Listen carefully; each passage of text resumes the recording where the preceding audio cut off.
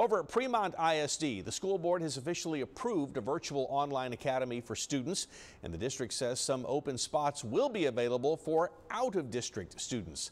That virtual option is for students who are not yet vaccine eligible. Now, that includes children below the age of 12. The program is planned for the first semester of this school year, but will end once a vaccine is available for children in that age group.